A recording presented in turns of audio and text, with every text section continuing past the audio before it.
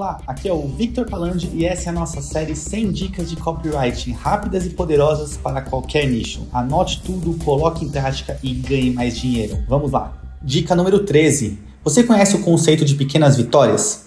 Ele é muito interessante porque sempre que a gente está querendo vender, a gente quer prometer mundos e fundos, né? Então a gente quer transformar a vida da pessoa, fazer a pessoa de 150 quilos é, ficar com um tanquinho, a gente quer que a pessoa pobre fique milionária, a gente quer transformar isso na vida das pessoas. E muitas vezes a gente sabe como fazer isso. Você é um bom nutricionista, você é um bom coach, você ah, entende muito de finanças, às vezes você sabe o caminho que precisa perseguir, é, precisa, perseguir precisa correr.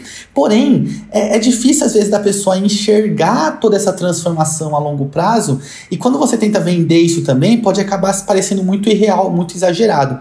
Então, uma forma de você testar suas vendas, testar sua abordagem, é você vender as pequenas vitórias. Uma pessoa, por exemplo, de 150 quilos, se ela perder os primeiros 10 quilos, ela vai ficar feliz demais, uma felicidade gigantesca.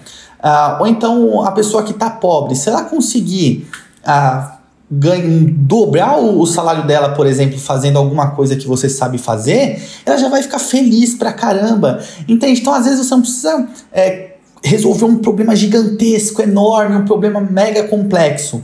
Se você quer ganhar o seu cliente, Faça primeiro com que ele tenha uma pequena vitória. Essa pequena vitória, ela vai trazer uma descarga de prazer, vai também te dar mais autoridade, ela vai confiar mais em você. Então, quando você falar para ela assim, olha, eu fiz você dobrar o seu salário, agora a gente vai fazer você chegar em 50 mil por mês. A pessoa, ela pode até falar, nossa, não acredito, mas ela vai ter aquela lembrança de que você já cumpriu o que você prometeu. Então ela vai falar, bora, tamo junto, vamos nessa. Então, a pequena vitória ela serve para te dar muito mais autoridade, a pessoa confiar em você, essa credibilidade se reverter em novas vendas futuras, tá bom? Então, esse é um conceito muito usado também em funil de vendas. Porque no funil de vendas, você pode, por exemplo, entregar uma pequena vitória para a pessoa por R$ 9,90.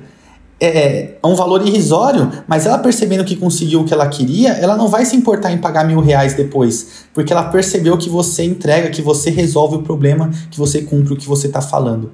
Beleza? Então a mente humana aí a gente precisa tratar com carinho, com cuidado, sem grandes exageros e sempre dentro do que a pessoa consegue imaginar para a vida dela. Um forte abraço então e até a próxima dica. Tchau, tchau.